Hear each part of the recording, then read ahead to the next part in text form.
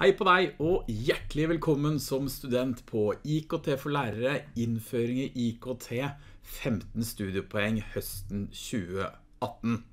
Eller som vi kaller det på kortversjonen, IKT-MUK 2018, som er det ordet vi kommer i stor grad til å bruke på dette studiet. Jeg heter Magnus Nord og er fagansvarlig for dette studiet.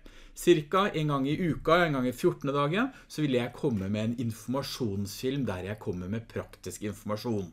Disse filmene skal ikke være lange, men det er viktig at du ser det slik at du får den studieinformasjonen som du trenger i dette studiet. Dette er jo 100% nettbasert, så vi møtes aldri i klasserommet. Derfor så blir disse filmene veldig viktige i kommunikasjonen fra meg som fagansvarlig til deg som er student.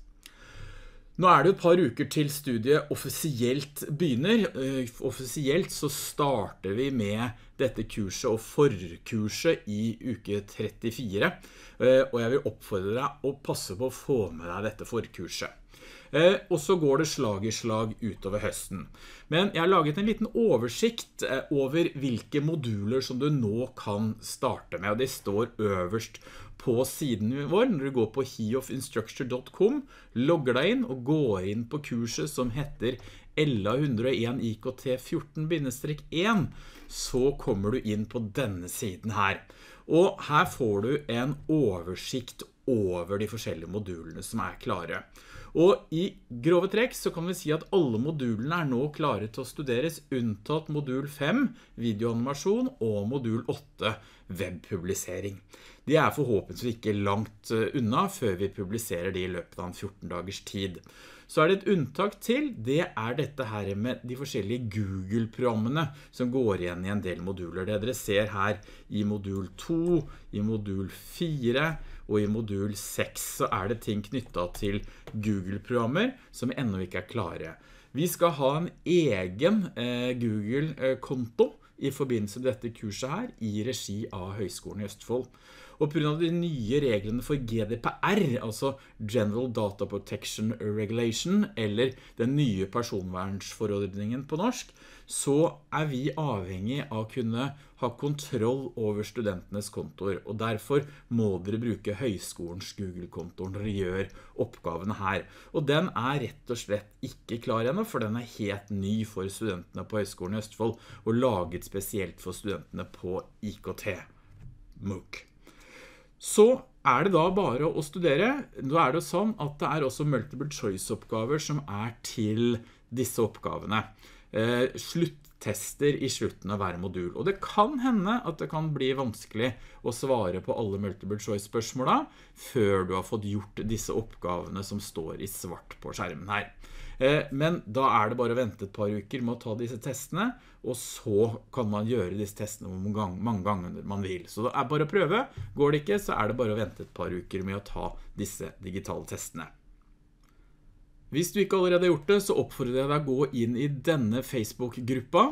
I denne Facebook-gruppa så eh, kan du stille generelle spørsmål om studiet.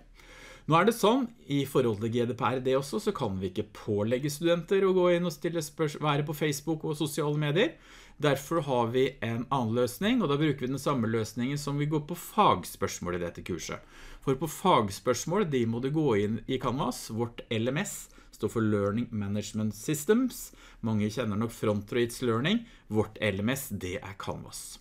Og inn i Canvas så går vi på diskusjoner, Eh, og har du generelle spørsmål og vil absolutt ikke være på, eh, på Facebook, så kan du stille generelle spørsmål her inne i Canvas.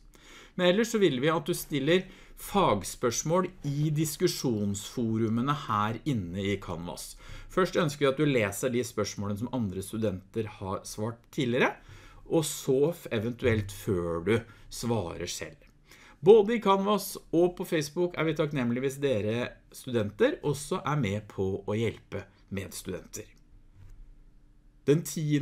august så kommer det en ny informasjonsfilm i studiet. Den som ligger her ute er fra 2017. Når den kommer 10. august så er det viktig at du ser hele den filmen. Den kommer til å være en slags introduksjonsforelesning der jeg presenterer all viktig informasjon i forhold til hvordan det er å være student på dette studiet og studere IKT-MUK. Så den er viktig at du ser når den kommer 10. august. Utover slutten av august så begynner supportsystemene våre og tilbakemeldingssystemene å fungere. Den er nok litt dårlig i begynnelsen av august, men så blir den bedre og bedre, og så blir den daglig fra vi starter studiet i slutten av august, begynnelsen av september. Så for deg som er til ute, lykke til med å jobbe. Oppgavene, de går du inn og leverer fortløpende i modulene.